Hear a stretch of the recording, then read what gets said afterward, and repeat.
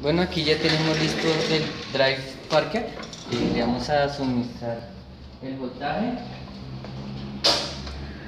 Pues ahí ya estamos comprobando que está funcionando. El mantenimiento que se realizó fue preventivo y correctivo. Y pues está listo para hacer pruebas en planta.